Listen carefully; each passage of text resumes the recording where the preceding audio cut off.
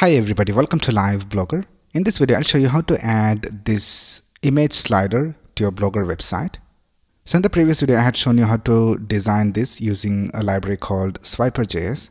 Now in this video, I'll show you how to add this to your Blogger website. So let's get started.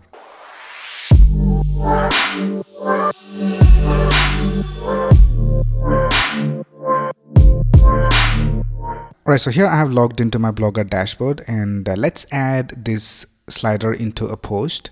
So let's create a new post and uh, I'll just name it slider. You can add any title you want over here. And the next thing you need to do is you need to change this into the HTML view. So click on this button and click on HTML view. And now here you can add the HTML, CSS and JavaScript code. So first of all, let's add the CSS. So I'll just create a style tag for that and let's go back to our source code and I will leave the link of the source code in the description of this video. So let's go to the styler CSS file and let's copy all this CSS from uh, this line of code till here and uh, let's paste it over here. Alright now let's go ahead and paste the HTML. So let's go over here and uh, let's copy this HTML code from here and I'll just select it till here. We'll also copy this script tag and let's paste it after this style tag. And now here we can see that this is the JavaScript of the Swiper.js library. Now let's go ahead and create a script tag and uh, let's add our JavaScript code over here. So let's go back to our source code and let's go to the main.js file. And here we can see we have this JavaScript code. So let's copy this and let's paste it inside here. And then the last thing we need to do is we need to also copy the link of the CSS file of Swiper.js. So here we can see that we have added this link of the CSS file. So let's copy this link and I'll just paste it over here just before this style tag. Right now the next thing we need to do is we need to add the images.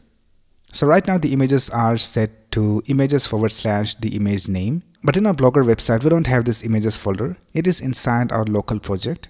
So we need to upload these images somewhere and get the links and paste them over here. Now for this video, I'm going to insert the images right here inside the post itself and get the link and paste it over here. So let's click on this insert button and let's click on upload from computer.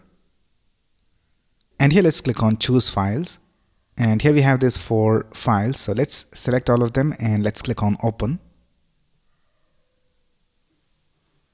And here we can see all the images are displayed. So let's select all the images and let's click on select and here I'll just select original size and OK.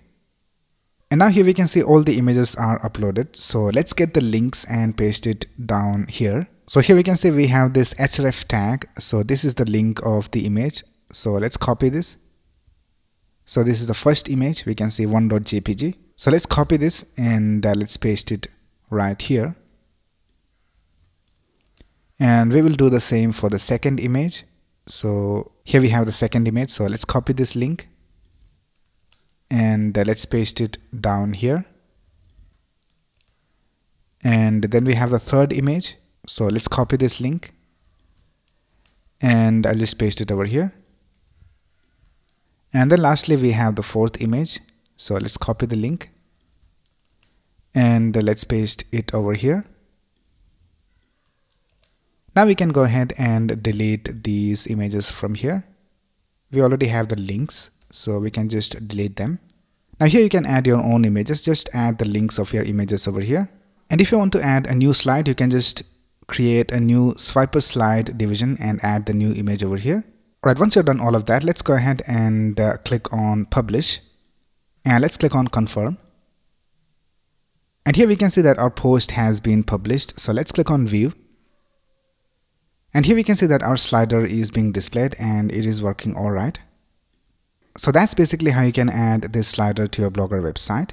Now if you go back to the post and if you go to the JavaScript code, here we can see that we have added some of these options over here. So here we have added this pagination. We have set the effect to cover flow, which is what we see over here.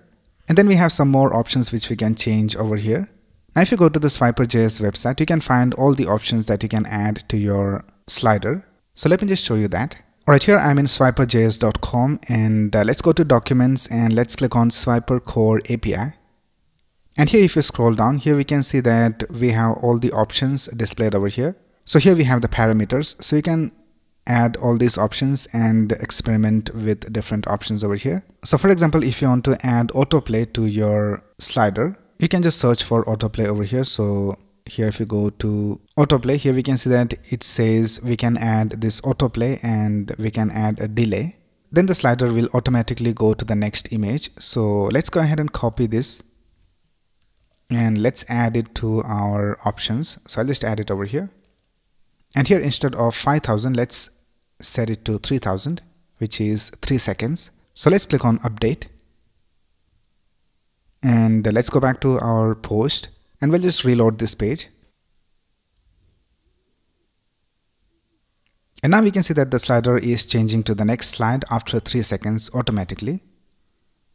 So that's how you can add different options to your slider from this uh, list of options.